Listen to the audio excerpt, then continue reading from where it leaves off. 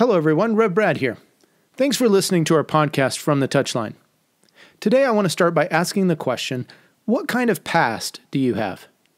Having been around soccer for some 20 plus years, I've met a lot of different people superstars of the beautiful game, nasty villains, hardworking blue collar players, prima donnas, and so many of them have a colorful, if not checkered, background and past.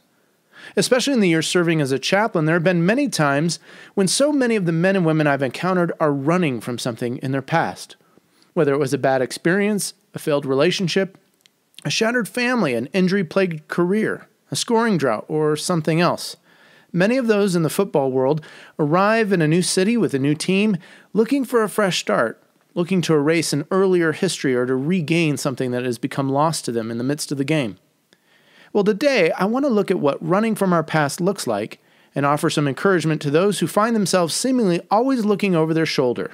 We're back after this. He's found the space and he's found the back of the net. Just a little off foot, thinking he's going to go far post. Not strong enough with his right hand. Whips that one in.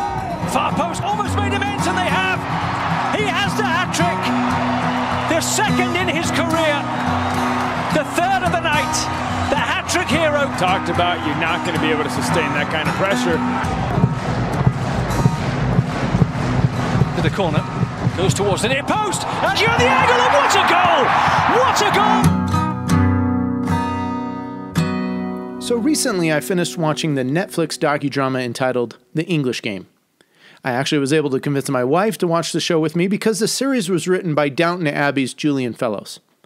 Well, the English game follows the story of Fergus Suter, a Scottish footballer from Glasgow who ends up playing for a couple English clubs and is today recognized as perhaps the first professional football player, or the first one to be paid, if you try and understand what that means. Now, the Netflix show is historically inaccurate. You can look it up on the web.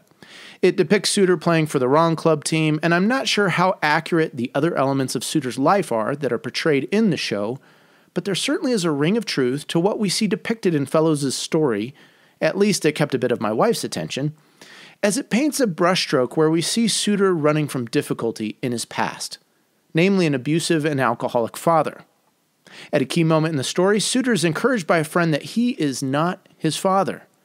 And even though confronted with his past and unable to run any further from it, Suter must also decide whether he can accept this encouragement from a friend, whether he can truly change and move on.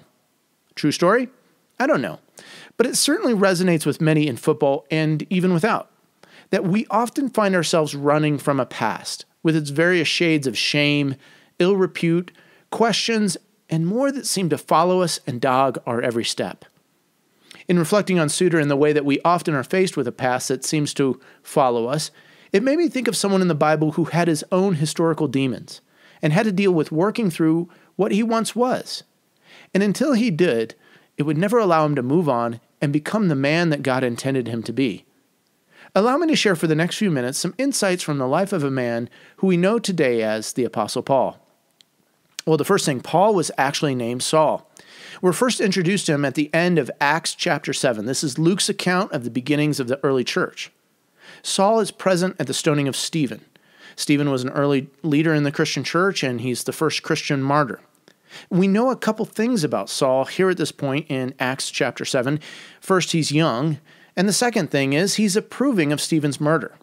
It's a few verses later that we see that Saul is actually in the active activity of destroying the early church. He's perhaps single handedly behind a great outbreak of persecution for those early Christians, and he dragged many men and women off to prison. The second thing we know about Saul is that he's very passionate and committed. We see him in chapter 9 pursuing with religious zeal more attacks on the church he goes, he's, he's kind of weeded out Jerusalem, and he goes and gets official permission to carry on his quest to arrest and destroy this Christian movement in areas outside of Jerusalem. So he begins to strategically expand his campaign. But all of a sudden, Saul encounters Jesus, and his life is forever changed. It's in this moment, this Damascus Road moment, that Saul is struck with a blindness. And we see him sitting and waiting, not even eating, for three days. His blindness is finally lifted when a Christian believer named Ananias, reluctantly and cautiously, comes and puts his hands on Saul, and he is filled with the Holy Spirit. Saul hangs out for a number of days and then he starts preaching. He's totally flipped sides, totally changed teams, and now he's applying all the zeal and passion and training of who he is to the other team, to the other side. If I could liken it to any football story, it would be like Messi playing for Barca one day and then after a short weekend suiting up for Real Madrid's next match, flipping the flipping the script. Of course, Saul's flip means that no one really trusts him, neither the Jewish religious leaders nor the young upstart Christians known simply as the Way. Saul ends up spending three years in the desert.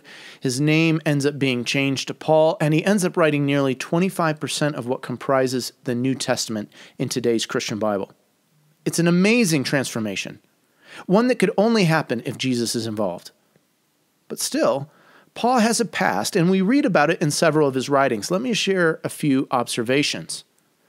First, Paul carries the consequences and pain of his past. We know from an account of Acts that Paul suffers a blindness that lasts three days. But it seems that the impacts may have had longer lasting uh, results or longer lasting effect. We learn uh, about that, Paul having a thorn in the flesh. He writes in a letter to the church at Corinth, uh, the letter, the second letter, entitled 2 Corinthians 12, 7 through 9. And we see that he writes about this thorn in the flesh that he prays for it to be taken away. But Jesus says, No, my grace is sufficient for you. You can get through this. Now, we don't know for sure if this is a reference to the physical ailment of blindness or, or loss of sight. Maybe there's another kind of adversary that's in Paul's life that, that Paul's referring to here in this writing. But we do know that many of Paul's letters are written by an amanuensis, a type of writing assistant. His vision impairment would have been hard when it came to writing letters to the different churches and people that he had visited, so he often employed someone else to help him write his letters. And sometimes he would sign his letters or he would say in his letters he would say, "See see what large script or large handwriting I used to to write these words." It was it was like Paul putting his his official stamp, his official signature, his his own writing onto the to the scroll or the parchment paper that was used. The second thing we know about Paul is that Paul has a certain amount of guilt or grief about his past. After all, he was there at the death of Stephen. He did a lot of harm to perhaps many good people, and he probably realizes this later after his conversion. In his letter to his protege Timothy, he describes himself as chief or worst of sinners. You can read that in 1 Timothy 1:15. So we see that Paul has had to work through issues of forgiveness, forgiving uh, himself uh, having and receiving forgiveness from others, forgiveness even from Jesus. He realizes that on that road to Damascus, Jesus says, Why, why, Paul? Why, Saul? Why, Saul? Why are you persecuting me? And so Paul has had to do this hard work of reconciling his past. And we see Paul's reconciling work as he lists out his, his credentials, and, and he has them all. He was religiously devout and zealous. He was born in the right tribe, the right clan. He was perfect in all his ways. But Paul learns that none of this was worth anything in comparison to knowing Jesus, to truly knowing Jesus as his Lord. And so we learn in Philippians 3 that everything that Paul could have taken pride in, everything that he kind of could have had in his account or his portfolio to, to brag about, all those things in the past, those things become reduced. And he now has reframed and reprioritized what is important in life. And so Paul goes on to write some of my favorite words in the New Testament when he writes this in Philippians 3. He says, Forgetting what is behind and straining toward what is ahead, I press on toward the goal to win the prize for which God has called me heavenward in Christ Jesus. Let me read that again. Forgetting what is behind and straining toward what is ahead, I press on toward the goal to win the prize for which God has called me heavenward in Christ Jesus. What I love about those words is that we see Paul moving beyond a past that might have stopped and, and stymied him. Paul goes beyond a past riddled with guilt, uh, guilt from a wrongful death and murder, a, a past which saw him zealous and legalistic and religious for all the wrong reasons, and, and for really the wrong faith, the wrong aim, the wrong direction. It was a past, his was a past in which he hurt many people. It was a past that he eventually had to leave behind. And we see in Paul, even in these words, an arc, a heaven bound, upward facing, directional arc of his life in which he sees and comprehends that his past, even with how painful and messy and dark and difficult it was, it's a past being redeemed by God. It's a past being used by God to bring about something greater and grander for the kingdom. In fact, Jesus' words to Ananias are go and visit Paul, Saul, and touch him and heal him because I have appointed him and he's going to be my messenger. He's on my team and I've picked him. Well, friend, I don't know about your past. I don't know how messy or difficult the things that you have in your past or that you're running from. But I do know this. If Paul lays claim to being the worst of sinners, you know, I don't know, would there ever be a, a GOAT, a greatest of all time of sin? Well, if Paul lays claim to being that worst or chiefest of sinners, well, then you and I have a chance. We have a chance that our past cannot be as bad. We can have a hope that Jesus can take our messy past and turn it into something beautiful, something good. And if Jesus can take someone like Saul, Paul, and flip him as the biblical Messi of his day, then he can certainly take you and me. And whatever's in our past, he can redeem and restore it into something good. Now, we may not be writing 25% of the Bible, but you can bet it might come awfully close to, to being something as great and grand as that. Well, in closing, I want to pray a prayer for those of us running from a past.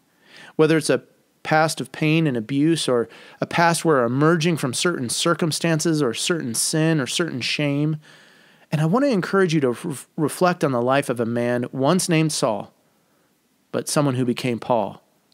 A man who once glowed and, and was excited at the execution and murder of a man, but eventually became one of the greatest followers of Jesus and suffered his own death for his faith. A man who left the past behind for a new day, for becoming a new creation in Jesus. Let's pray. Lord, forgetting what's behind is hard. Forgiving myself is maybe even harder, and all I can seem to do is run and run and run away from a past of sin and shame. Lord, help me stop running. Help me to take hold of the new vision, the new hope, the new person that you believe, that you know that I can be. Help me to press on and to find that heaven bound arc of my life. Encounter me on the road. Bring someone to help heal my blindness and restore me.